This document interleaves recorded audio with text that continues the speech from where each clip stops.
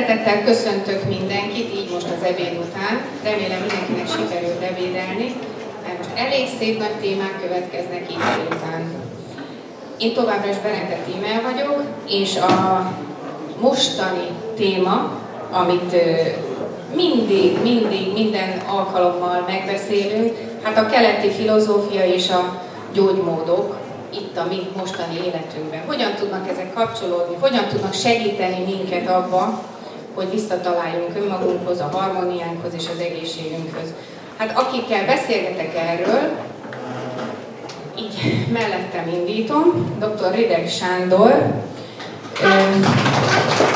pszichiáter, neurológus, addiktológus, főorvos, hagyományos kínai orvos, ugye ezt oktatja is az egyetemen. Hát szóval meg még biztos sok minden más is. Tehát lehet, hogy kevés lenne ez a délután, hogy felsoroljuk, de nagyon örülünk, hogy eljött és segít nekünk itt most megtalálni az igazságot. Utána mellette ül Tóth Zoltán, remélem jól mondom, Tai Chi Chuan és Chi Kung oktató, kínai masször, és még őróla is el lehet mondani, hogy meg még minden egyéb más. És Pál Tamás, aki a sorvédőnő, ő pedig ayurvédikus tanácsadó, és, és sok minden más csinál ő is. Akivel kezdem most a sort, hogyha keleti gyógymódokról van szó, a doktor úr, te vagy. Hát üdvözlöm a résztvevőket, látom, hogy így szombati napon is nagyon sokan érdeklődnek ez, ez iránt, a gyógymód iránt, ezt nagyon köszönjük. A kínai filozófia ugye több ezer éves. Van, aki 3000, van, aki 5000, de talán közelebb vagyunk az 5000 vagy talán még régebbi. Ugye a történelemben nem fontos, ha már ezt is tudjuk. A, viszont a kínai filozófia egyetemes rendje az túlélte korunk urbanizációját, rohanó világát, a kínai rendszer egységessége, a kínai rendszernek a folyamatai, azok mind ma beigazolódtak az orvoslás számára. Ma több kutatás folyik a kínai orvoslás gyakorlatáról és eredményeiről, mint a neurológiai idegélettani kutatások, pedig az is nagyon sok, hiszen a világban ma, ugye, Amerikában kineveztek egy pár éve ugye az agykutatás ahol az idegrendszerről, az idegműködésekről, annak különböző rendszereiről, és ma több cikk foglalkozik a kínai orvoslás eredményeivel, kutatásával és hatásával, mint az idegélettani kutatásokban. Ez egy kicsit meglepő, de örvendetet is a számunkra. A másik dolog, amit nagyon szeretnék elmondani a kínai orvoslásnak, függetlenül attól, hogy sokan megpróbálják befektetíteni, nem akarok neveket mondani, célszerű, de mindjárt tudjuk, kikről van szó, nem sikerült nekik. Ugyanis a bugyuta megjegyzés, amely könyvekben és egyéb dolgokban vannak, ezek mind sorra megtöltek a akupunktúrás pontok mechanizmusait, most csak egy-két kutatást mondtuk el, Kínában, Japánban és Amerikában ma már kutatják, ahol professzorok, kutatóintézetekben, kínai professzorok megszúrnak egy pontot, és akkor megnézik egy mágneses emelről, hogy mi történik az agyban. És történik valami. Nagyon nagy Látni lehet az anyagcsere megváltozását, látni lehet, ahogy az agyban a folyamatok elindulnak és megállnak, látni lehet az agyban az érzelmeket, ugye a limbikus agyat, létre látni lehet az agyban, amikor egy érzelmi sérülés van, és látni lehet azt, ahogyan az akupunktúra hat. Kell ennél nagyobb tudományos bizonyíték? Hát ha ennél többet akar valaki, az ma vagy nem normális, vagy elfelejti, hogy a tudomány hogy működik. A másik dolog, hogy a tudományossággal nagyon óvatosnak kell lenni. A nyugati tudományosságban nagyon sok esetben olyan esetek fordulnak elő, hogy ami ma igaz, holnap már Viszont a kínai orvoslásban eddig még minden igaz. 5000 éve igaz, és lehet, hogy még 5000 évig is igaz lesz, ugyanis a kínai orvoslás a világ egyetemet és az embert egy és egészként fogja föl. Mi benne élünk egy rendszerben, és ez a rendszer az, ami meghatározza a létünket, meghatározza a folyamatainkat, az energiák mozgása, a világ egyetem energia rendszer egységes, és ez az emberben is ugyanaz, és ezeket a folyamatokat tárja a kínai orvoslás. Ezeket az egyensúlyi folyamatokat ö, tudjuk befolyásolni ezzel a módszerrel. De úgy gondolom, hogy ez a legjobb módszer, amit ma természetesen tekinthetünk. Nagyon köszönöm. Akkor ez így bevezetőnek jó volt. Zoli, te a gyakorlati oldalát közelítsd meg, de kapcsolt fel azért. A doktor ugye mondta, hogy a kínai gyógyászat az egy rendszer. Nagyon fontos az embereknek, hogyha a kínai orvoslásról vallanak, első körül az akupunktúra jut eszükbe. Ez a, a főleg a nyugaton talán legelterjedtebb. Tudni kell, hogy Kínában az orvosok az akupunktúra mellett a gyógynövényismeretet, a masszázs, mozgásterapet, minden egyebet tanulnak, aztán valamilyen szinten szakosodnak, de, de az egészet ismerik alapjaiban. Ugyanúgy, ahogy az ember kezelésénél is nem egy kiragadott tünetet kezelnek, hanem az egész testet, az egész ember próbálják megnézni, hogy mitől van ez. Ugye nyugati orvoslán szerint fáj a fejed, vegyél be egy alévet, akár 8 óráig nem fáj, az napi 4, háromszor, napi három alévet beveszel, tök jó már a gyógyszergyártóknak. Most az emberek hozzá fáj a feje, dolgozni kell, gyereket nevelni, akármi beveszi, rendben van, tehát kell, szükséges. Az viszont, amikor az ember heteken, hónapokon, akár éveken keresztül megpróbál fájdalomcsillapítóban élni, az, hogy megpróbál előbb-utóbb csak többet teszi a gyomrát, a máját, és aztán vagy elpusztul, vagy leszadik a fájdalomcsillapítóról, akkor az nem jó. Tehát el kell menni, megkeresni a, a gyökerét. A fejfájásra adnak egy gyógyszert, mert ezt éppen ez a, az, nagyon régóta nem nézett tévét, mert van tévé, csak nincs bekötve, nincs idő, hogy nézzem. E, és azért lehet, hogy már teljesen más gyógyszereket reklámoznak, ajánlanak. A lényeg az, hogy egy gyógyszert ajánlok, hogy ez a tuti, ez megszűnt a fejfájás. A fejfájásnak a kínai szerint 39 különböző oka lehet. 39. Azt mondtam, hogy a fájdalomcsillapító olyan, mint amikor a gyerek belép a szögbe, az fáj neki, elkezd gyerek bömbölni, a szülő zavarja, nagyon zavarja, és fogja és beragasztja a gyerek száját. De jó, már nem sír de attól szörnyű ott van. Tehát a keleti, a kínai gyógyászat arra törekszik, hogy mindig megkeresse a kiváltókot, és kezelje ezt a kiváltókot, és ha megszűnik, akkor az okozat is meg fog szűnni. Nagyon fontos dolog, az emberek megszokták azt, hogy elmegyek az orvosod, megtörtént eset,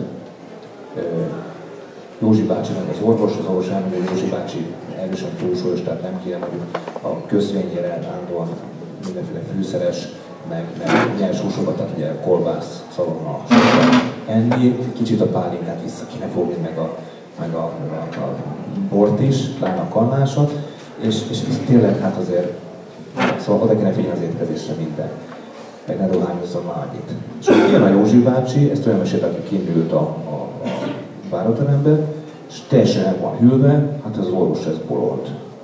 Hát eljövök, hogy gyógyítson meg, és azt mondja, hogy mit ne csináljak keresek egy másik orvost, mi mondja a többieknek. Meg nem fordult a fejébe, hogy ő is felelős a saját egészségéért. Tehát neki kell első, meg Istennek kell érte. Hm? Köszönjük. Tamás, eddig ugye a kínai, kínai orvoslásnál voltunk, most áttérünk az ájúvédára. Igen, az ájúvéda tulajdonképpen szintén egy nagyon ősi gyógyító eljárás, az ősi védikus Indiából származik. Kb. 5-6 ezer évesre teszik a, a kezdeteit, ami nagyon különleges és ami nagyon egyedivé teszi ezt a, a gyógyító eljárást, hogy igazából ez nem egy összerakott, egy kitalált, egy kiagyalt, megalkotott gyógyászati rendszer, hanem ez egy meglátott tudás. Mi az, hogy meglátott tudás? Hát annak idején, sok ezer évvel ezelőtt, ugye Indiában éltek a nagy látók, a nagy risik, akik önmaguk mély csendességében, meditáció mély csendességében meglátták a védát, a védő az a tudás. És a védának ugye nagyon sok ága van az egész teremtett világot felöleli, és így ugye az ájú véda, az az egészségnek, az életnek a tudása, ez is feltárult előttük. Meglátták, hogy hogyan működik az ember, hogy milyen áramlatok vannak benne, milyen minőségek, mik azok, amelyekből felépülünk, hogy milyen csodálatos harmóniában élünk a természettel. Ugye ami kint az univerzumban, ugyanaz van bennünk, az emberben.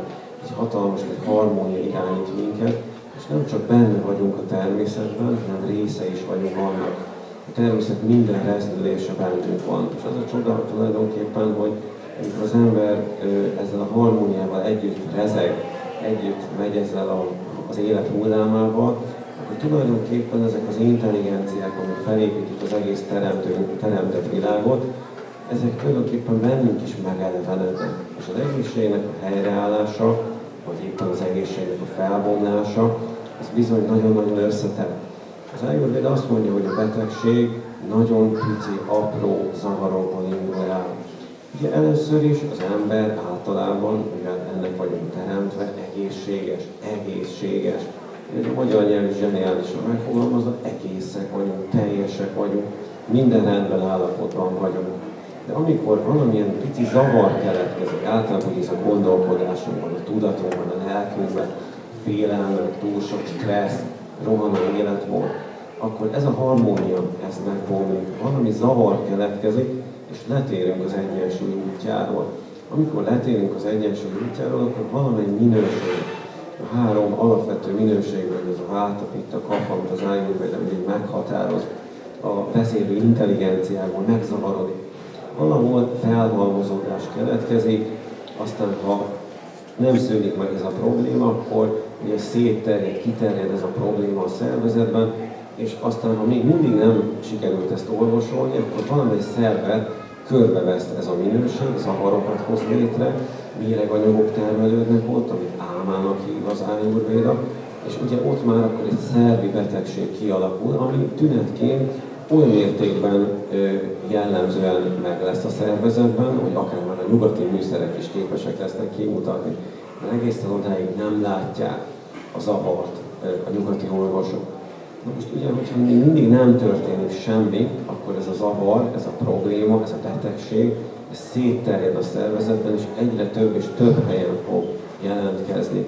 Aztán, ha még mindig nem történik semmi, akkor ebből ugye egy krónikus betegség, esetleg nagyon negatív esetben egy halálos betegség is kialakulhat. Tehát látszik, hogy 5-6 lépés kell az Ayurveda megközelítése szerint ahhoz, hogy az ember igazán nagyon beteg legyen, és hát elhagyja aztán lassanként ezt a földi árnyékvilágot, de ugye mi nem erre készülünk, hanem szeretnénk egészségesek, teljesek lenni. Hát ugye önök is gondolom azért vannak itt, mert szeretnének valahogy visszatalálni az egyensúly útjára, az egészség útjára, érdeklődnek az alternatív gyógymódok iránt. Az Ayurveda egy nagyon tökéletes módszer, épp oly tökéletes, mint a kínai, koreai, vietnámi, bármely más keleti gyógymód. Ugye, ahogy mondják, az Ayurveda valahogy mindennek az ős forrása. A védikus bölcsesség volt az, amely a keletet is, meg a nyugatot is megtermékenyítette, tehát az egyiptomi, a görög orvoslás is valahol innen eredezteti magát. Az Ayurveda igazából egy nagyon teljes tudást ad, és hát az, aki egy kicsit is így belemerül, meglátja azt a hatalmas nagy intelligenciát, bölcsességet, ami ugye régi risiknek a, a, a, a tudása, a hagyománya, és hát én ezzel foglalkozom körülbelül már 16-7 éve, és azt tudom mondani, hogy a tudás lenyűgöző, és az is, amivel az embereknek tudunk segíteni, hogy gyakorlatilag visszavezetjük őket önmaguk belső forrásához, kapcsolatot teremtünk önmaguk belső intelligenciájával. Ugyanis minden ember meg tud gyógyulni, minden ember tud jobban lenni, ha összehozzuk a benne lévő forrással, ami minden dolognak a lényege. A modern ember, a nyugati ember azért beteg, mert elvesztette önmaga belső forrásával a kapcsolatot, anyagnak tekinti magát, húsnak, érnek, fehérjéknek és vitaminoknak, vagy bárminek, és elveszítette azt a lényeget, ami benne van, azt, hogy ő tulajdonképpen egy intelligencia és a mi testünk, azt mondja az Ayurveda, mindig annak a kivetülése, mi van a tudatunkban. Az én testem az mindig csak egy kivetülés. Önmagában a testet tisztogatni nem elég. Tehát az az ember, akinek csak a testét tisztogatjuk, az eljut valahova jobban lesz, sokkal jobban lesz. De ha nem változik a tudatban, a belső intelligenciában, akkor hiába hozzuk fel egy jobb szintre, gyakorlatilag a tudat visszateremti ugyanazt az állapotot, ami a hibás működés volt, tehát néhány év múlva vissza fog ugyanoda térni. Tehát nagyon fontos, hogy a test és az elme, a test és az, az a tudat főképpen, az egészség két pillére, és e kettőnek egyensúlyban kell lennie, harmóniában kell lennie, és az Ayurveda ez az egészség tudománya, a harmónia tudománya és az egyensúly tudománya. Mert aki egyensúlyban van, az egészséges, tehát teljes, ahogy a magyar nyelv is mondja. Ez egy csodaszép út ahhoz, hogy elérjük azt az állapotot, amit szeretnénk, hogy jól vagyunk, egészségesek vagyunk, és persze hát boldogok vagyunk, mert ugye a földi létezésünknek ez a legfontosabb cél, ezért vagyunk itt, hogy boldogok legyünk, egészségesek legyünk, és fejlődni tudjunk ebben a testben, és ezzel a tudattal, ezzel a lélekkel az Ayurveda körülbelül ezt a célt szeretné megvalósítani. Akkor most átadom a szót, doktor úr, ismét neked, hogy erre reflektálj, hogy itt azért a, a magyarok, akik itt most hallgatnak minket a mi kis országunkban, meg hát mondhatnám az egész világon is, tehát az a mi egészségi állapotunk, az hát sok-sok kívánivalót hagy maga után. Hogy tudunk mi ebbe az irányba elmozdulni? Tulajdonképpen igen, a mai magyar valóság az ugye rengeteg stresszel jár ugye ma. Ezt mindjárt tudjuk. Tehát a kínai orvoslás és valószínűleg az ajurvédában is vannak ugye különböző megnyilvánulásai az elmének, tehát ugyanúgy, ahogyan a testben toxinok keletkeznek, ugyanúgy toxinok keletkezhetnek az elmében is. Tehát, ha egy rossz elme működés folyamata zajlik a testben, akkor úgynevezett elme által termelt toxinok, vagy érzelmi toxinoknak is lehet azt nevezni. Ezek termelődnek az agyban, és ezeket a toxinokat, érzelmi toxinokat ugyanúgy kell rendbe tenni, ugyanúgy ki kell méregteleníteni az elmét. Hát akkor, amikor a kínai orvoslásban, ugye volt egy előadás, amit talán sokan hallottak is, amikor méregtelenítés a kínai orvoslásban című előadásomat tartottam, ez egy legalább egy órás előadás, a több szinten zajlanak a folyamatok. De nem szabad a testen kívül az elmét figyelmen kívül hagyni, és az érzelmek és az elme méregte, tehát ez két külön terület. Az érzelmi dolgok, amik ma adják a leg, Magyarországon is a legtöbb betegséget, az érzelmi toxinok, az érzelmi problémáknak a rendkívül fontos. Mi, amikor egy kínai állapot felmérést végzünk, mindig megnézzük hogy a három szintet. És meghatározzuk azt is, hogy az elmében vagy az érzelmekben és azok által, tehát hibás működés által milyen toxinok keletkeznek. Ezt érzelmi toxinoknak hívjuk. Tehát ugyanúgy, hogy a test-lélek-szellem viszonyában ugye ugyanúgy ezt a hármasságot figyelembe kell venni, és a gyógyításban is figyelembe kell venni. A mai magyar valóságnak az a gondja, hogy nagyon sok a lelki teher van embereken. Nagyon sok az érzelmi toxin, nagyon sok olyan lelki toxin, sokan olyan dolgot tevékenykednek vagy úgy élnek, ami ellentétes önmaguk belső élményeivel és érzéseivel. Amikor ugye a kínai orvoslásban is a gyógyítás folyik, akkor ezeket mind föltárjuk, ezekre mindre megadjuk a tanácsot. A másik dolog, ami reflektálnék, hogy igen, az embereknek saját magukért tartoznak felelőssége. A saját egészségüket mindenkinek a saját kezébe kell vennie. Az nem elég, hogy a gyógyász vagy a tanácsadóhoz elmegyünk, hiszen ő tudja, mi a probléma, de e, azt az életmód változást, amit mi tanácsolunk, lelkileg, testileg e, és szellemileg, ezt végre kell hajtani. Gyógyulás soha nem lesz akkor, ha ezt a hármat egységben nem kezeljük, és az öngyógyító folyamatok is csak akkor tudnak elindulni a szervezetben, ha ezt a hármas egységet harmóniába hoz, hogy a kínai mondja, ha a yined és a yangod egyensúlyban van, tehát az energiád és az anyagi testi folyamatai, akkor egészséges van. Ha ez bármilyen módon elhangolódik, legyen az testi, lelki, stb., akkor beteg vagy, beteg leszel, és csak idő kérdése, hogy mikor lesz olyan súlyos az állapot, hogy komolyabb beavatkozás kell. Tehát ha megtanuljuk saját magunk számára önmagunkat is figyelni és kezelni, ha időt tudunk fordítani önmagunkra, igenis önmagunknak kell az egészségünket a kezünkbe venni, és meg kell tanulnunk azt, hogy életmódot is kell változtatnunk akkor, amikor egy betegség kialakult a testünkben, hiszen ez azért is jött létre, mert az egyensúlyunk fölbomlott, talán helytelen életmódot folytatunk, és akkor tudunk csak egészségesek maradni, ha visszatérünk eh, ahhoz a folyamathoz, ahhoz a léthöz, amely a teljességünket biztosítja. Tehát a kínai orvoslás ugyanilyenről beszél, nyilvánvalóan ennek megvannak az ötelemtani és egyéb folyamatai, ahogyan ezeket a törvényszerűségeket és ahogyan ezeket a lépésekben az embert visszavezeti a saját maga belsejéhez, a saját maga egyensúlyához. De ha nem változtatunk életmódot, akkor soha sem fogunk meggyógyulni, hiszen vissza fogunk esni. Gyógynövény lehet akupunktúra, lehet két év, három év, meggyógyultunk, vissza fogunk jönni. Tehát ezért tanácsoljuk, az igazi gyógyulás csak akkor van, ha önmagunk is meg akarunk gyógyulni, ha önmagunk is kezünkbe vesszük az öngyógyítás folyamatát, természetesen a gyógyítónkkal vagy tanácsadónkkal egyetértve, és ennek megfelelően alakítjuk át az életünket, a táplálkozásunkat, az életmódunkat. Nagyon köszönöm, Zoli. Azért adom át neked a szót, mert te azért erről, miután masszőr is vagy, és nem csak chi, meg hasonló oktató, te tudsz erről sokat mondani nekünk, gyakorlati példát?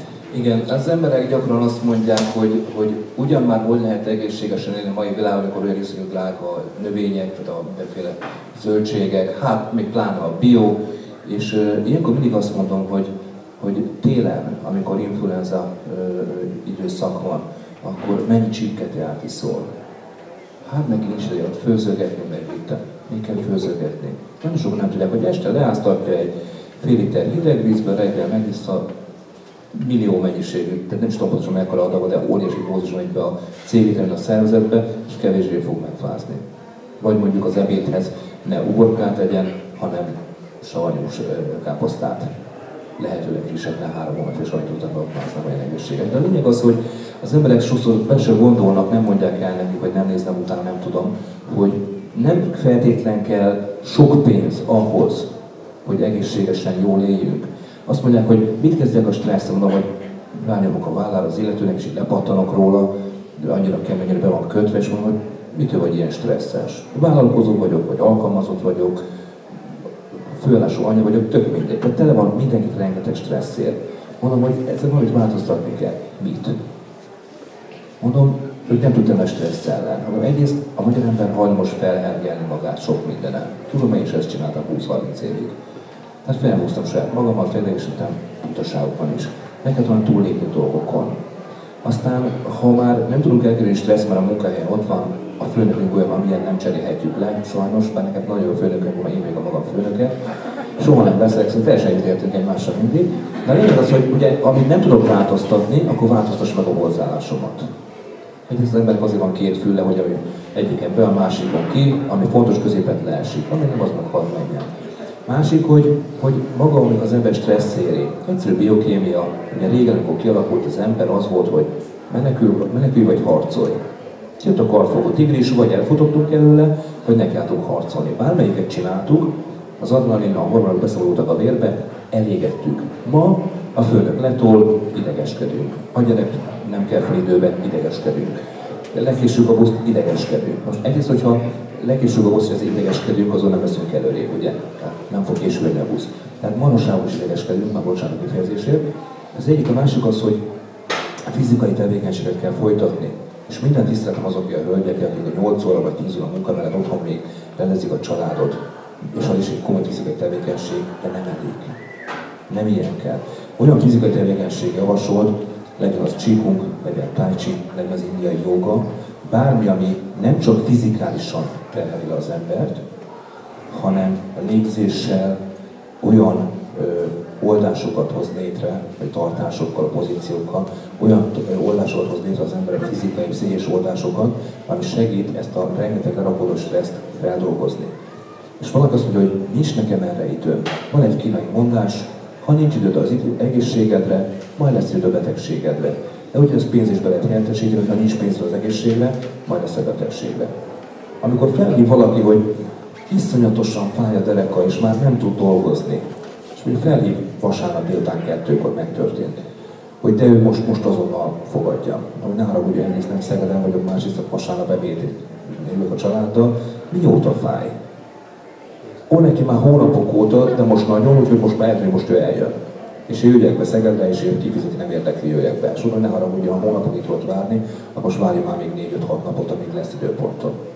És nem értett, hogy miért nem jövő hogy megfizetni. Ha azt mondja, hogy reggelre úgy kell, hogy becsipölt a dereka, és nagyon fáj, akkor bejöttem volna. De azért, mert ő most lusta volt elmenni. Tehát nagyon fontos, hogy figyeljük a testünk jelzéseire, és foglalkozzunk vele.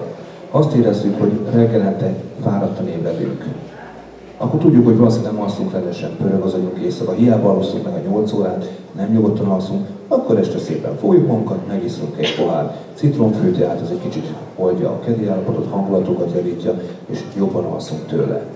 Ilyen egyszerű, és, és egy csomag citromfű 100-200 forint, és az elég egy hétre. Hát annak egy nem akar magára rászállni, azt, az, annak tényleg nem lehet segíteni. Akkor tipikus az esetek, hogy azt mondják, hogy az ő nincs orvosság, mert nem hajlandó bevenni. Tehát nagyon fontos, hogy, hogy igenis foglalkozzunk magunkkal. Senki más nem fog velünk törődni. Senki más nem tudja meggyógyítani az ember, csak ő saját magát. Mi betegítjük és gyógyítjuk meg magunkat. Szoktam jövök az élő példa erre, hogy mennyire az ember meg tud gyógyulni, konkrétan élő példa, tizen pár évvel ezelőtt sikerült szerem egy hepatitis B fertőzés, nekem a, a bőröm volt olyan fehér, mint ez a tea körül, vagy olyan sárga, bocsánat, mint ez a tea, és amikor vért vettek, akkor találtak még a vírusok között még nem vért is. Tehát azt mondták, hogy hogy én még nem görcsölő fetrengek. Három hét után kórházba, utána haza, rendszeresen mennem kellett kontrollra, szimplán, ott benne, hogy mondta a doktor, nagyon korrekt volt, nagyon jó fej volt a kezdő orvosom, mondta, hogy semmivel nem próbálkozok, mert elkezdem erősíteni a májamat, széthúlik elemeire. Tehát a vírusokat is erősítem, és szétesik a májam. Hát ugye két hét után gondoltam, hogy megpróbálom egy picit, csíkungot, csak úgy, csak úgy látosan, csak fejbe, Hát nem volt kellemes érzés. Gyorsan leálltam, és aztán egy egyszerű kis meditációval sikerült lefelé nyomni a vírusszámomat, ezt naponta nézték, lehetett mérni, semmi, is egy gyógyszer. Ezt elő nem tudják gyógyítani, vagy meggyógyul magától a páciens, vagy elmegy 10-14 év alatt egy kellemetlen májzsugorra. E, és gyakorlatilag kikerültem a kórházból, kezdettem magam a meditációval, mentem, nézték a vért, és megkezdte a főorvosasszony három hét után, hogy hogy csinálom, hogy ilyen három hét alatt többet gyógyultam, többet gyógyult az állapotom, mint másoknak három-négy hónap alatt. Egyszerűen csak amit éppen lehetett, azt csináltam, de én tettem magam. És aztán pár évvel később, először Kínába, aztán itt Magyarországon is megerősítették, hogy ma egészséges vagyok. Azt mondták, 200 évig fogok élni, ha csak el nem a villamos előtte. Azóta kerül a villamosokat. Jó? Tehát nagyon fontos, hogy tegyünk magunkért. Ez lehet joga, lehetnek nézőgyakorlatok. Néha nagyon egyszerű gyakorlatok vannak. De amikor a páciensnek azt mondom, hogy csináltak a szőcske gyakorlatot, fájbereka, ez kettő percet vesz igénybe reggel és este. Nem. Miért? Nincs nekem erre időm. Nem hülyeskedett, ez négy perc naponta. Ne utasd ki engem. Én kifizetem a masszás és hagy békén. De kérlek szépen, akkor egyre legközelebb. Ha te nem teszel magadért, senki nem tud meggyógyítani. Ha teszel magadért, bármiből meg tudsz gyógyulni. Tamás, azt hiszem neked is van ehhez egy-két szavod.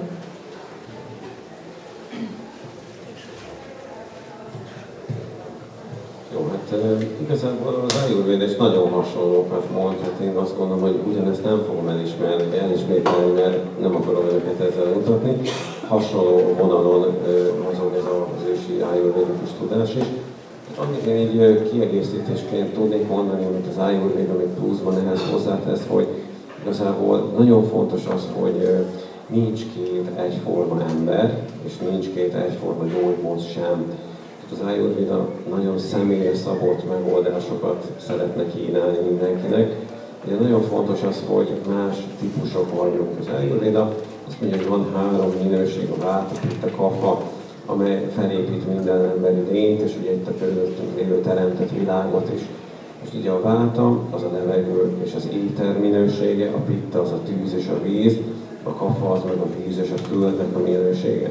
Na most ugye vannak született testtípusok, ez a prakriti, ez a pra, ez a cselekvés, a kriti, azt mondom, a pra az a megnyilvánulás a csendnek, kriti az meg az energia, amiből ez ugye létrejön. Prakriti az az én született minőségem, természetnek is fordítják. Ez mindig állandó, megszületek egy bizonyos minőséget, ez halálom ugyanaz. Ez a prakriti nem változik. De van egy úgynevezett vikriti, ez a vi, ez az eltérésnek a kibontakozása, vikriti, ez az eltanulás, a betegség, a probléma. Ezzel tudunk valamit kezdeni, és sokat tudunk vele kezdeni. Ugye a született testtípus az állandó, az meghatározza az én erősségeimet, és a gyengeségeimet is. Na most ugye a váltapitta kafa, ez minden emberben benne van. Csak különféle minőségben. Valakinél egyik vezet, valakinél másik, kettő vezet, néha három egyforma mennyiségben van jelen, ez ritkább. Na most nagyon fontos az, hogy meg kell tudni állapítani, ki milyen típusba tartozik, mi az ő prakritia, mi az ő született minősége, és akkor utána tudjuk azt megnézni, hogy mi az eltanulás, mi a gond. Most az ayurvédikus pózus elemzésből ki lehet deríteni azt, hogy ki minek született, illetve mi a problémája.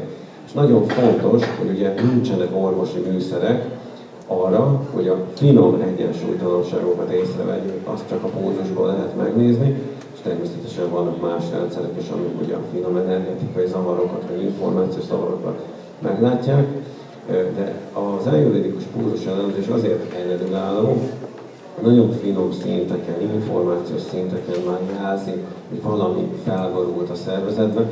Az az ideális egyensúlyi állapot, ami maga az egészség, már felborult. Amikor felborul az egyensúly, onnantól kezdve indul el a betegségnek az a pár folyamat, amit az előbb nálam volt a mikrofon, akkor ezt el tudtam mondani.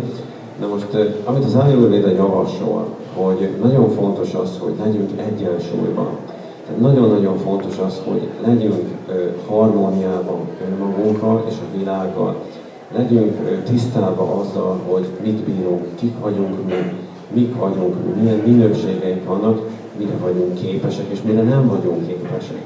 Nagyon fontos az önismeret, ugye ez a leges, legfontosabb az ayurvédikus bölcseletben, hogy tudjuk meg azt, hogy miért is vagyunk itt ezen a Földön, mi a dharmánk, mi az életfeladatunk, milyen minőségek vannak bennünk, amelyek segítenek minket, és mi az, amire viszont figyelnünk kell, ami viszont gyengeségünk.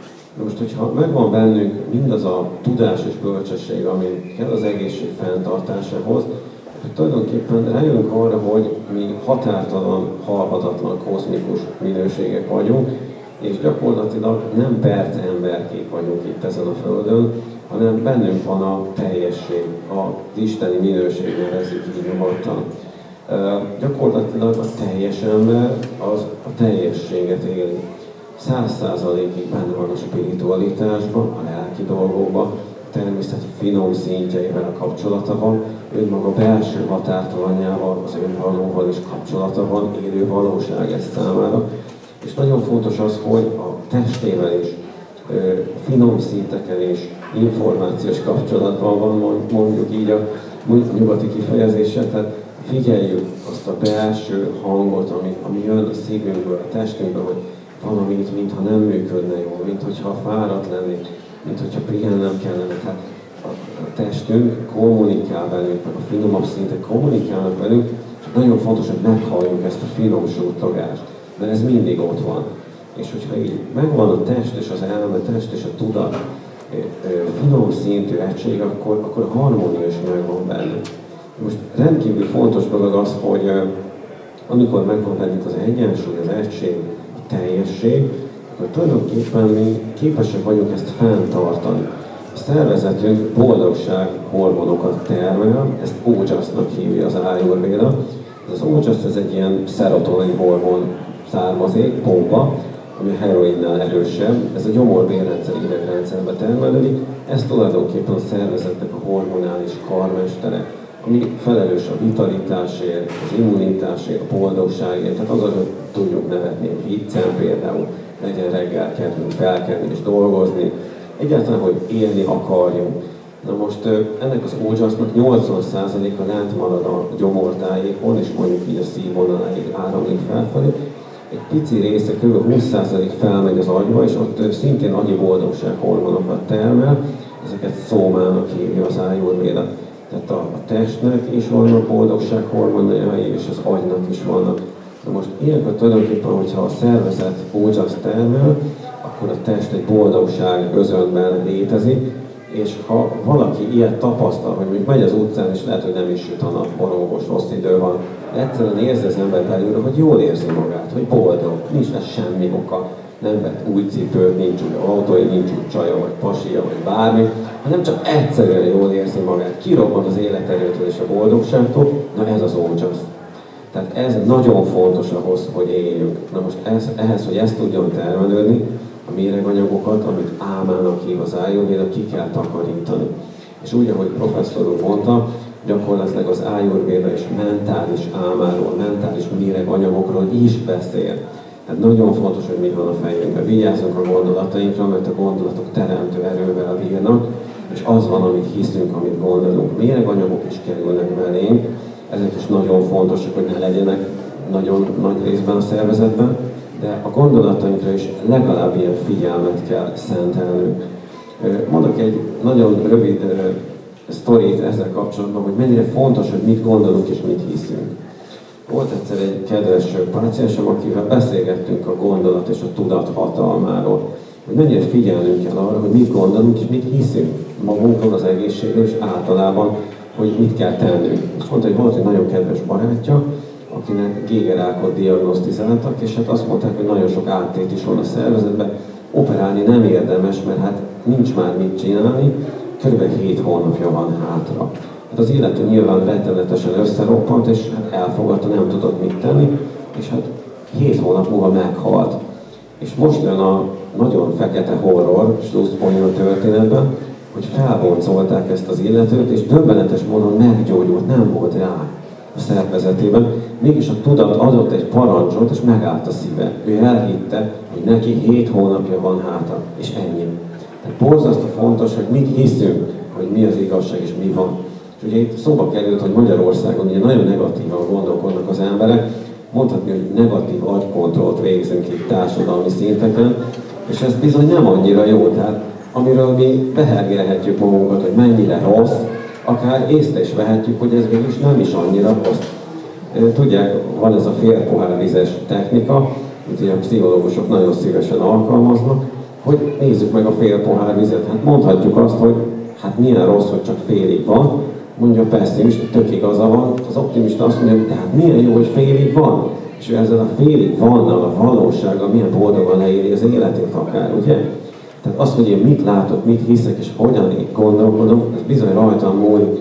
És nem a kormány, meg az Orbán Viktor, meg az akárki a hülye, meg a hibás, hanem én magamat tudom behergelni olyan állapotba, hogy utána kémiailag is, biokémiailag is olyan változások történnek bennem, amitől nagyon komolyan beteg leszek.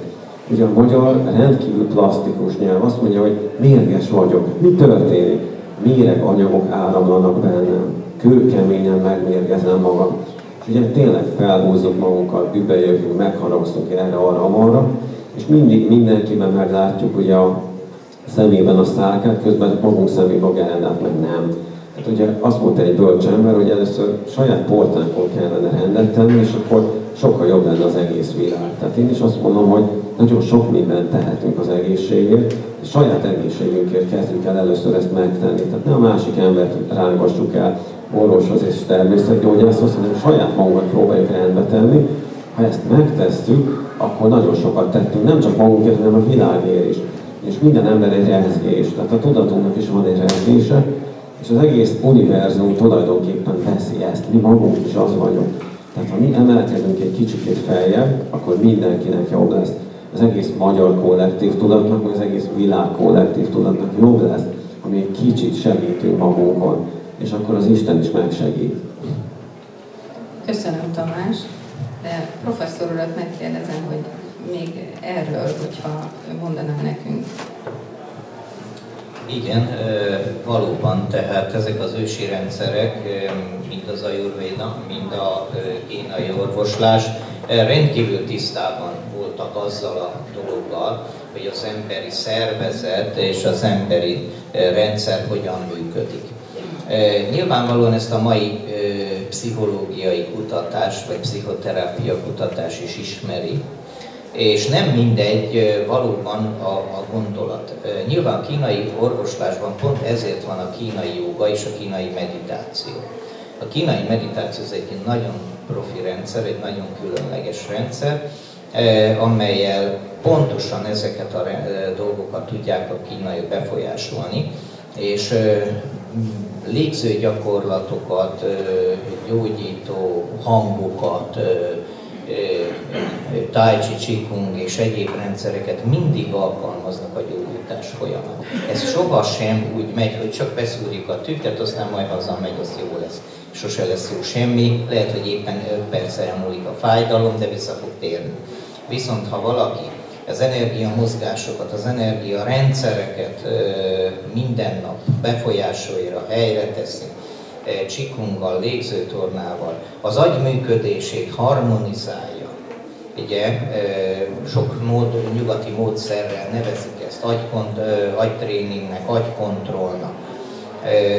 De van most ugye az úgynevezett tudati technológia, amely már modern műszerekkel tudja vizsgálni, hogy hogyan működik az agy. Tudni kell, hogy az agyban lévő hullámok, úgynevezett agyhullámok, az alfa, beta, theta, delta, gamma hullám van, ezek mind-mind egy bizonyos neurotranszmitter, egy bizonyos hormont termeltetnek. Tehát abban az esetben kimutathatóvá válik, hogyha valaki ugye dühös, a kínai orvoslás a dühöt, a haragot a májhoz teszi. És hogyha valaki állandóan dühös, állandóan haragszik, akkor nyilván a máj működését is tönkre fogja tenni. A tönkretétel nem csak itt áll meg, hanem ebből ki fog alakulni egy blokkolódás a meridián rendszerében. Ugyanis a máj, mint egy egyensúlyozó, harmonizáló, a meridiánok energia áramlását is befolyásoló rendszer, de ugyanígy a vérkeringést is befolyásolja, a vérnyomást is befolyásolja. Tehát folyam már ebből fokozatosan fog adódni, hogy hova fog jutni magas vérnyomása lesz, zavarai lesznek, aztán megkapja a sztrókját, ugye, vagy a agyi keringés zavarát, amivel aztán hosszú-hosszú kórházi kezelések lesznek. Tehát mindezeket a problémákat egy folyamatában lehet látni, és le is lehet állítani. Hát meg lehet állítani egy ilyen rendszert, akár különböző légzőgyakorlatokkal, különböző tréningekkel, magát az agynak a működését egy légző gyakorlattal úgy át lehet hangolni, hogy egy nem kell se altató, se élénkítő. Nincs szükség kávéra. Ha valaki egy ilyen légző tréninget gyakorol, akár 8 órára elegendő oxigént tud az agynak biztosítani, és teljesen fog tudni dolgozni. De ugyanígy a máj tréninggel, vagy a májhanggal helyre teheti a stresszes májműködését, ugye a gyógyító hangokkal, bizonyosan ismert hallott róla, nem tudunk most részletesen erről beszélni, de ismert ez a dolog. A gyógyító hangok, a gyógyító ö, joga segítségével, vagy akár csikunk tájcsi gyakorlatok segítség, ez pillanatokat megtehető. De ugyanakkor az agyműködés mellett ugye nagyon fontos az a dolog, ha sokáig fönnáll egy rossz folyamat, például egy állandó félelem, az beíródik hm, az agyba, és beíródik a sejtjeinkbe. Magyarul, magyarul a test válik elmévé. Most ezt a folyamatot nem tudjuk teljesen föltárni, de amikor a test válik elmévé, abban a pillanatban egyszerűen már az kevés lesz azt mondanom, hogy holnap megváltozom, holnap jól fogok gondolkozni, holnap nem fogok idegeskedni. Ez nem működik. Ebben az agyban az agy átprogramozódott, és vissza kell az agyunkat programozni. És vissza is lehet ezekkel a gyakorlatokkal, tréningekkel, életmód változtatással vissza tudjuk programozni az agyunkat, és ki tudjuk írni belőle ezeket a hibás magatartás és gondolkozásformákat. Szeretném még mondani valamit? Mert most már végére járunk a dolognak, jó. akkor ez lesz a záró mondat. Jó, jó hosszú mondat. Buddha azt mondta, hogy mondja, amit gondolsz, és azzá váltál, amit gondoltál. Ha folyton a betegségünkről beszélünk, akkor betegek leszünk. Ha folyton szegénységünkről beszélünk, akkor szegények leszünk. Az elmúlt pár hétben két olyan hölgye is volt szerencsém beszélgetni, aki, aki megmutatta azt, hogy a, a hitünk, hogy mennyire rajba dőlnek el a dolgok, bármi legyen szó. Az egyik egy fodrász, a másik egy nőkörmös. A kollégái, kolléganői fontosan panaszkodnak, hogy kevesebb az ügyfél, ritkábban jön meg, nem tudja fenntartani a műhelyt. A két hölgy azt mondta, hogy ő nem tudja, hogy válságtól van-e, vagy nincs-e, ő azt tudja, hogy egy picit még emeltek is a díjakon, és sokkal több páciensük van, és nem győzik. Ők eldöntötték, hogy rájuk nem fog hatni a válság, és nem hat. Tehát valóban rajtunk múlik, hogy mit hiszünk el, és azt erősítsük. Mindig ez fog működni. Csak el kell dönteni, hogy akarunk-e tovább lépni. A másik dolog, aki, aki hallja, hogy Tai Chi, meg Qigong, de abszolút nem tudja, mihez kapcsolni, mi is ez. Kínában a parkokon csinálnak ilyen lassú mozgásokat. Látok, vagy Tai vagy Qigongot csinálnak. Ezek az egyszerű gyakorlatok, ha valaki azt mondja, hogy hú, neki ez a folyamatos mozgás az túl bonyolult, akkor jöjjön nyugodtan Qigongra, vagy menjen a jogára, ahol szintén rövidebb mozgások, bárki. És nem mondja senki hogy én öreg vagyok hozzá, én kövér vagyok hozzá, én túlbeteg vagyok hozzá. Ezek kifogások. Fel lehet, lehet mondani persze. Tehát nézzük szem, hogy ez csak kifogás és nem igaz. Tehát azt mondom, hogy a Tai Chi, most én abból indulni, nem lehet olyan nagyon bonyolult, ha én meg tudtam tanulni mesterszinten. Hát hívják el, én meg tudtam, bárki képes rá. Jó, sokáig is mondom, jó, én nem vagyok képes rá, aztán amikor jó, hátba vágtok odaföntről, akkor rájöttem, hogy muszáj csinálnom. Jó, és még egy, egy apróság, akit érdekel, szeretnék kicsit látni, hogy mi ez, akkor 3 órától, 2 óra 50 perctől itt az udvaron megnézheti a tanítványomat, hogy hogy csinálják, és akkor mindenféle kérdésekre válaszolunk majd. Köszönöm szépen. Szerintem az úgy lesz, hogy a következő előadás, ami, vagyis beszélgetés után fog kezdődni, akkor lenne ez a Tai Chi, amit ki lehet próbálni. És nagyon köszönöm nektek, hogy itt voltatok és beszélgettünk erről.